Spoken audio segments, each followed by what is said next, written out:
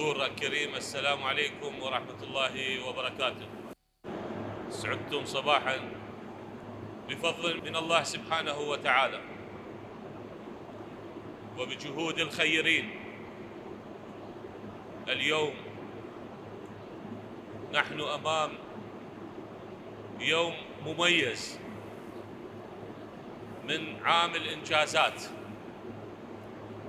أبارك فيه لأبناء محافظة البصرة ولأبناء الشعب العراقي عامة تأهيل وتشغيل هذه المصانع المهمة مصنع الدرفلة ومصانع الأسمدة الداب واليوريا. هذه المصانع التي تمثل عقدة مهمة للصناعات التحويلية وهي تقع في محافظة البصرة. ماذا يعني إنجاز هذه المصانع وتأهيلها بعد سنوات من التأخير والتعطيل وعدم الاهتمام والمشاكل والمعوقات؟ هذا المشروع من المشاريع المهمة في صناعة الحديد والصلب. اليوم نفتتح مصنع الدرفلة وقريبا إن شاء الله يتم إكمال مصنع الصلب لتكتمل حلقة إنتاج وتصنيع مادة الحديد بكل الخيارات. التي تتعلق بالمادة الأولية. مصانع الحديد والصلب نفذت وفق أحدث الخطوط الإنتاجية من المناشئ العالمية وهي اليوم تمثل فرصة مهمة لتغطية حاجة السوق المحلية المتزايدة من مادة الحديد والصلب. تشغيل هذا المصنع يعني أننا سوف نساهم بجزء كبير في تقليل استيراد هذه المادة وهذا أيضا يعني الكثير. من حيث الحفاظ على العملة النقدية. وكذلك توفير منتج وطني وتوفير فرص عمل. فرصة العمل المباشرة في الصناعة تعني توفير أربعة إلى ستة فرص عمل غير مباشرة. نحن أمام استحقاق بناء مدن سكنية ونهضة عمرانية ومشاريع إنشائية تحتاج إلى منتجات الحديد والصلب. وهذا المصنع إن شاء الله سوف يكون أحد المصادر المهمة لتغطية هذا الإنجاز. هذه المصانع وتأهيلها وتشغيلها تمثل جزء من رؤية الحكومة وبرنامجها المتمثل بواحد من أهم الأولويات وهو إصلاح الاقتصاد. حيث النهوض بالصناعة يعني مقدمة للنهوض بالاقتصاد الوطني العراقي. قبل أيام كانت إحدى مؤشرات التي ظهرت في إحدى تقارير المؤسسات المالية العالمية تشير إلى أن معدل الناتج المحلي الإجمالي غير النفطي للعراق وصل إلى 6% وهذه نسبة مشجعة ومؤشر إيجابي. بتنمية الإيرادات غير النفطية والنهوض بهذه القطاعات الصناعة والزراعة والاتصالات والتجارة والسياحة والمعلوماتية فإننا نساهم في الحفاظ على هذا النمو المتزايد. أيضا في هذا اليوم سوف نفتتح مصانع وخطوط إنتاجية لتغطية حاجة السوق المحلية من الأسمدة بنوعيها الداب واليوريا. بشراكة مع القطاع الخاص. وهذه الشراكة المنتجة التي نشجع عليها. شراكة مع القطاع الخاص تضيف لنا خطوط إنتاجية تضيف لنا تكنولوجيا حديثة وتغطي جزء من متطلبات الموازنة وخصوصا ما يتعلق بالرواتب. الأسمدة وإيقاف الاستيراد واحد من أهم الخطوات التي نعمل عليها للنهوض بواقع الزراعة.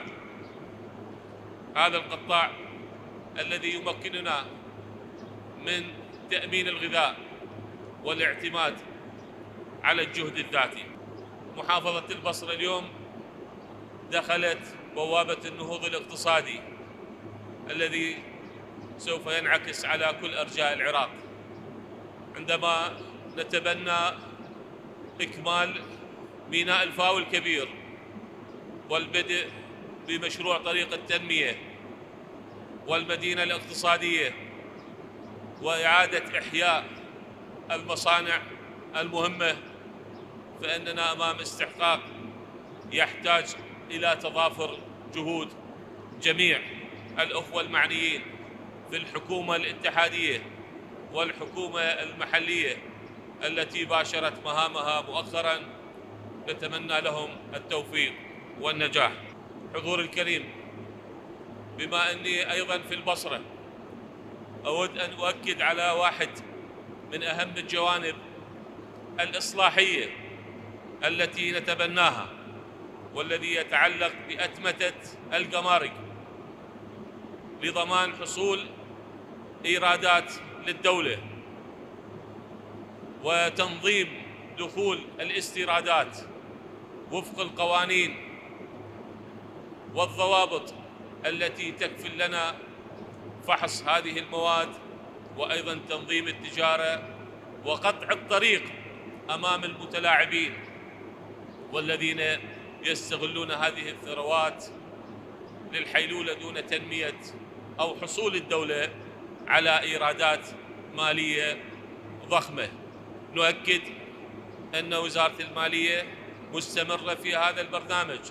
نظام الاسيكودا الذي يطبق مع إحدى وكالات الأمم المتحدة ويخضع لمتابعة وإشراف من قبلنا شخصيا. وإذا كانت هناك من ملاحظات سوف يتم معالجتها. لكن لن يتوقف هذا البرنامج وسوف يستمر لما فيه من مردودات كبيرة.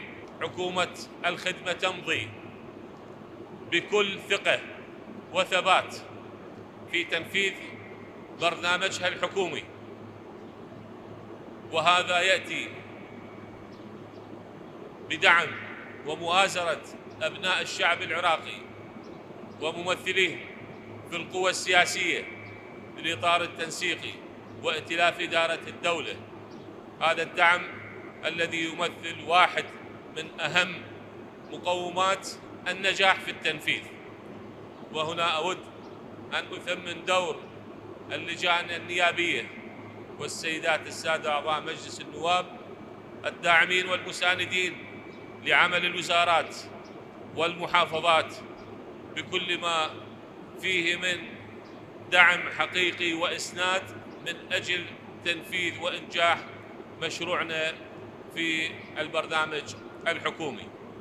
اليوم وأنا في هذا المصنع لابد أن أسجل عظيم الشكر والامتنان لكل ملاكات وزارة الصناعه والمعادن من وزيرها المثابر ودوائر ديوان الوزارة. وانتهاء بالشركة شركة الحديد والصلب بمديرها الصابر الحريص المثابر وبكادرها الهندسي والإداري والفني والقانوني هؤلاء الأبطال الذين صمدوا وواجهوا كل التحديات والمعوقات لنصل إلى هذا اليوم. ولا بد لنا أن نقف وقفة احترام وتقدير أمام شركة يوبي هولدنج. السيد هادي ما قاعد أشوفه وين؟ قالوا لي موجود. موجود في المصنع؟ هذا الرجل حقيقة يستحق الشكر والتقدير والثناء. منذ عام 2012 وهو يواجه جملة من المعوقات والمشاكل التي اعترضت تنفيذ مشروع كان مخطط له بشكل سليم. لكنه واجه هذه المشاكل بصبر وثبات وتمكن من الانسجام مع كل الوزارات على مختلف الحكومات السابقة لنصل إلى هذه النتيجة في تشغيل مصنع الدرفلة وإن شاء الله نكمل العمل في مصنع الصلب. الشكر الجزيل للحكومة المحلية المتمثلة بالسيد المحافظ لتعاونه ودعمه لكل إخوانه في الشركات وزارة الصناعة وشركات الوزارات الأخرى. وأيضا نتأمل كل خير من الأخوة رئيس وأعضاء مجلس المحافظة في استمرارية الدعم لهذه الشركات بما يحقق أهدافنا في تقديم الخدمة والوفاء لأبناء شعبنا في النهوض. بكل مجالات الحياة وهذه الفرصة موجودة ومتحققة إن شاء الله. نريد لهذا الصوت أن يستمر وحسنا فعلوا بأن تقام الاحتفالية في هذا المكان. نريد لصوت المكائن هو الصوت الأعلى ولا نقف أمام صوت المرجفين أبدا. بهمتكم بعزيمتكم إن شاء الله نحقق كل أهدافنا. بارك الله في كل جهود المخلصة. والسلام عليكم ورحمة الله وبركاته.